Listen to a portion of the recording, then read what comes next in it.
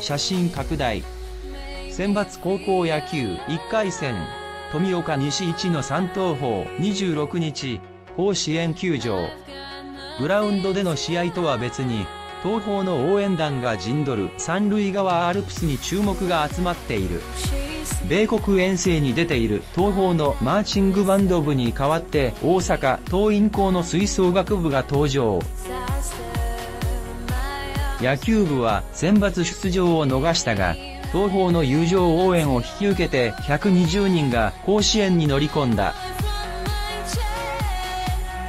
ネット上では試合開始前から友情応援を楽しみにする声が飛び交った。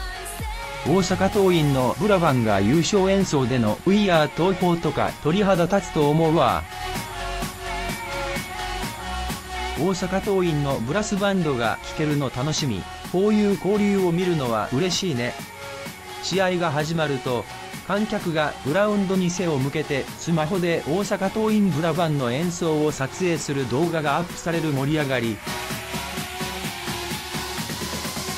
東方戦で大阪桐蔭のブラスバンドが聴けるとか死ぬほど。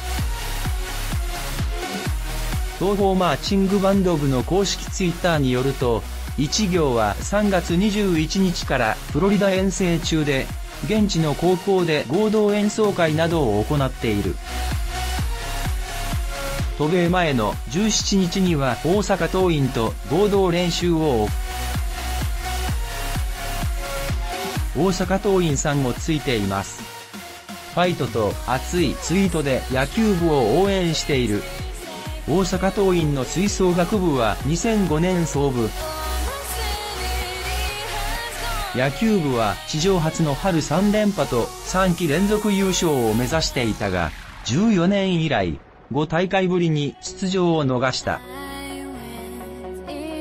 試合は東方が3対1で21世紀枠の富岡西を退けた。2回戦では広島、広陵と対戦。